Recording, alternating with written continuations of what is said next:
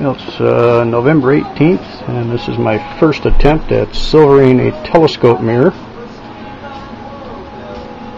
Like the old boys did, Draper and Commons.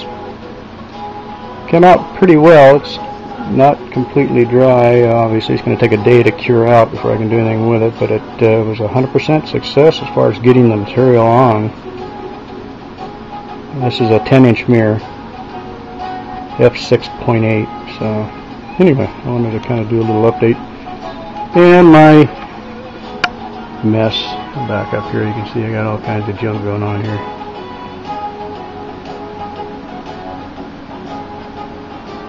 Seems to be that way. I got a furnace over there and then there's the chemicals I use right there that uh, to do the coating the silver coating. But, um, wanted to try it. And now I said I did it. It's actually pretty simple once you learn about it.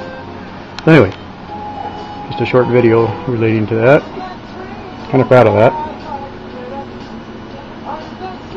My first uh, go around was a little beaker.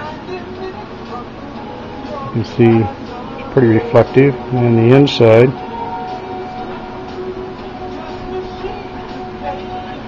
it's uh, pure silver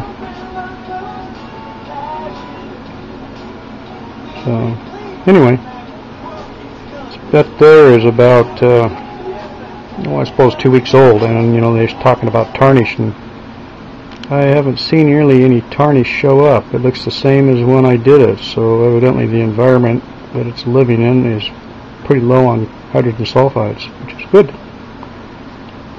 Okay, enough of that. Post this, and I'll get back to you guys.